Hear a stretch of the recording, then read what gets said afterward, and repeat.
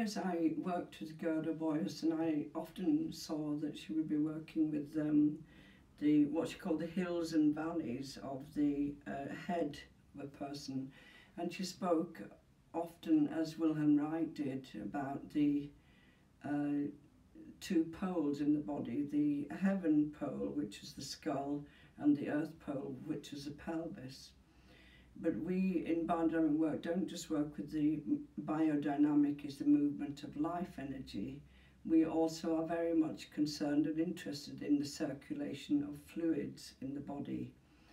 And you can imagine our delight when uh, something we've worked with for many years called the hills and valleys and what we call the deep draining or emptying that could happen uh, in the head and in the body was actually discovered, it was discovered that the brain has a draining system, the brain draining system, which is known as the glymphatic system, and that by working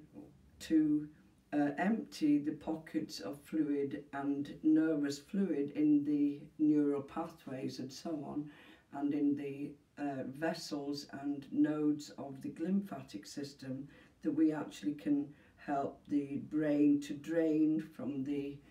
uh, fog and um, dreariness in a way of our everyday events that happen and build up and clog our thinking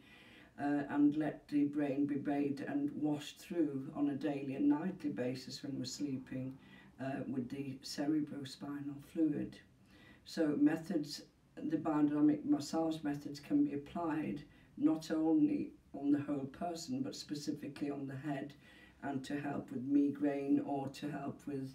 uh, the things that we face every day that are tiring, that we have to face life, all the things we hear and that we don't want to hear anymore, and working to clear the biofield and to work to empty the